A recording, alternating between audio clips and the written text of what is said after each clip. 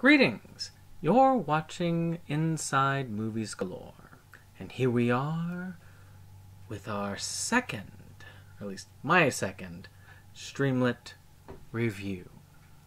Today we are visiting the lovely short film The Last Airbnb, directed by Logan O'Neal and starring Tim Gore and Nick Vernon. So, I of course have been enjoying Streamlit since I finally got it to work, and it is a lovely place for you to check out the newest in short films by the newest and most upcoming of actors and actresses. This little 2017 gem is well worth the checking out, and so are many, many others. Check out any details about Streamlit in the links below. So, let's talk a little bit about what this is about.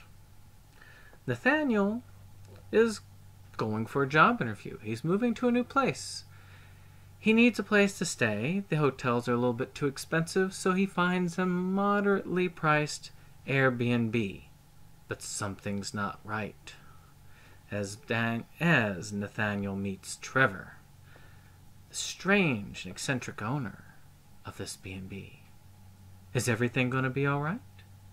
Well, you're going to have to watch it to find out. This one has a little bit more on it than the last one I reviewed. I have a nice little poster right here, so you can take, well, it's been here anyway, that you can take a look at. And on top of that, this one does have an IMDb page.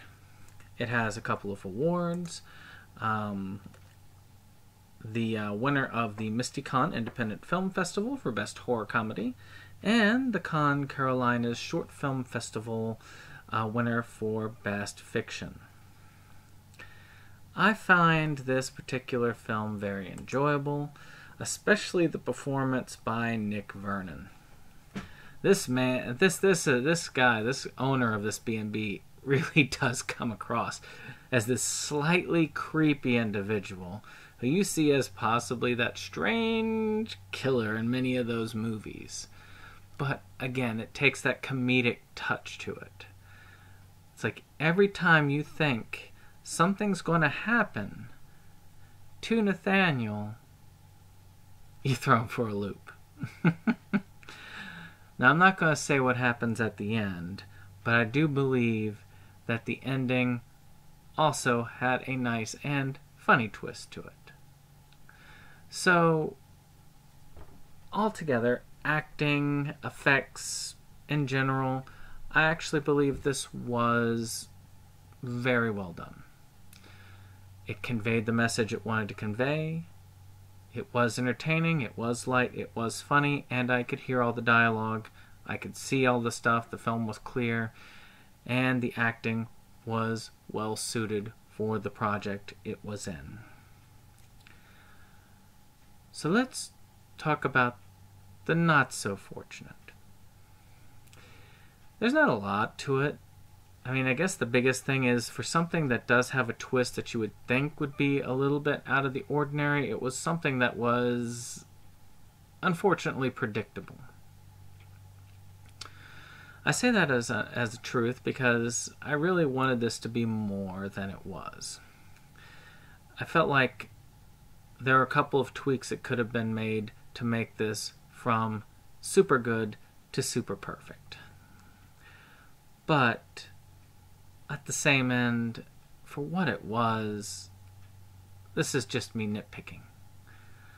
I mean, when a film is to the point where you've got to kind of nitpick to find something bad, it's not even worth addressing. So, we've done our short review. Now let's put a number on it. I would give The Last Airbnb an 8 out of 10. You need to check this out. It's short and it's fun, it's light. Get a subscription to Streamlit, check it out. Now, I mean, plunk down three bucks. It's not that much.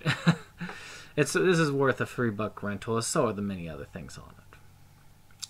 With that being said, you've been watching Septum Sen, and of course, if you like these reviews, please check out more reviews on our channel.